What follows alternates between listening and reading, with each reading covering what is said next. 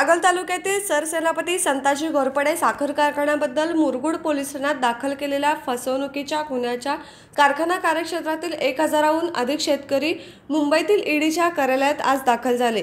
कागल शहर राष्ट्रवादीचे अध्यक्ष संजय चितारी कोल्हापूर जिल्हा परिषदेचे माजी सदस्य आणि गोकुळचे संचालक युवराज पाटील यांच्यासह हजारो शेतकरी उपस्थित होते. विवेक कुलकर्णी यांच्यासह सोळा जणांनी दाखल केलेल्या फसवणुकीच्या गुन्ह्याच्या अनुषंगानं वस्तुस्थितीचा खुलासा करण्यासाठी शेतकरी मुंबईतील सक्तवसुली संचालनालयाच्या कार्यालयात पोहोचले. दरम्यान राज्याचे माजी ग्रामविकास मंत्री आमदार हसन मुश्रीफ यांची ईडीकडून चौकशी सुरू आहे.